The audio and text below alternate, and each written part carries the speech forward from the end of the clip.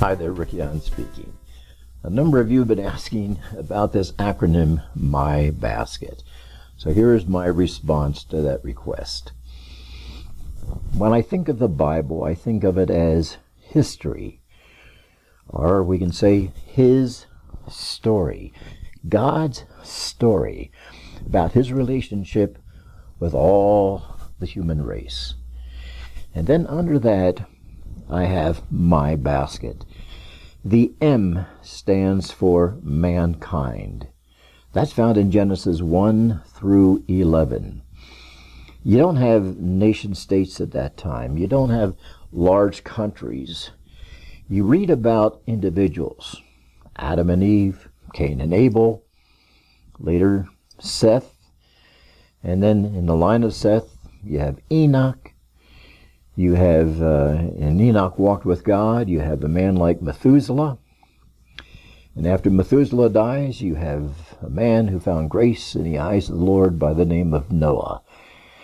So it's a time of individuals rather than groups of people. After that period of mankind, we have the B for beginnings. Starting with Genesis chapter 12, verse 1 through Malachi, it's all about Israel and how the other nations of the world relate to Israel. So the B stands for beginnings of Israel. And during this period, we have the patriarchs Abraham, Isaac, and Jacob. You also have included Joseph, who is sold into slavery in Egypt, and then he becomes number two in the kingdom there in Egypt and brings his family down. And then, of course, Israel begins to grow. The people begin to grow, and then they are enslaved by the Pharaoh. God raises up Moses. Moses goes down and he delivers the people out of Egypt. They are in the wilderness for about 40 years, wandering because of the rebellion against God and then Moses dies. That is the end of the beginnings period. Next comes the S, the settlement period. God raises up another man by the name of Joshua. So Joshua takes the people into the land and takes them about seven years to conquer the land. And here you have Joshua, Judges, and Ruth involved in that period of time. After the settlement, the people begin to ask for a king. So we have the K, the kingdom period. It's a united kingdom and then a divided kingdom. United under King Saul, David, and Solomon.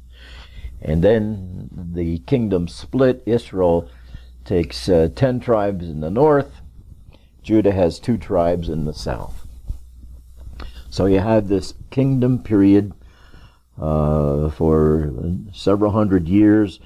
And following the kingdom period, because of the rebellion and the idolatry of Israel, God raises up the Assyrians in 722 BC. They come down, remove that northern kingdom, and repopulate that northern kingdom with Gentiles.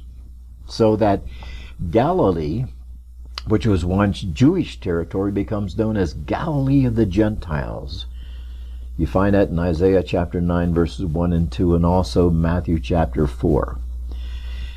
So you have this time where the uh, northern kingdom is removed and repopulated with Gentiles. 722 BC and 586 BC, God raises up the Babylonians to come down and destroy Jerusalem, destroy the temple, and removes the people of Jerusalem out of that area and takes them to Babylon for a period of 70 years, according to the prophecy of Jeremiah the prophet. And so that gives us the exile period. That's what the E stands for, exile. And then after that 70 year period comes the triumphal return, where God raises up a man by the name of Cyrus, the king of Persia. And King Cyrus allows the Jews to go back to the land and build their temple. And so it begins with Zerubbabel. He takes about 50,000 Jews back to the land and they rebuild the temple. About 85 years later, he raises up Ezra, the priest, and he takes the group back and restores worship. And about 13 years later, he raises up a man by the name of Nehemiah. He takes some people back and they rebuild the walls of Jerusalem. So there you have it. You have the beginnings, or you have mankind, Genesis 1 to 11. And then from Genesis 12, 1 through Malachi, it's primarily about Israel. The beginnings of Israel. And then you have the settlement of Israel, and the kingdom of Israel, and the exile of Israel, and the triumphal return of Israel. So there you have it, my basket. I hope this has been helpful to you and has been an encouragement. Thanks for watching.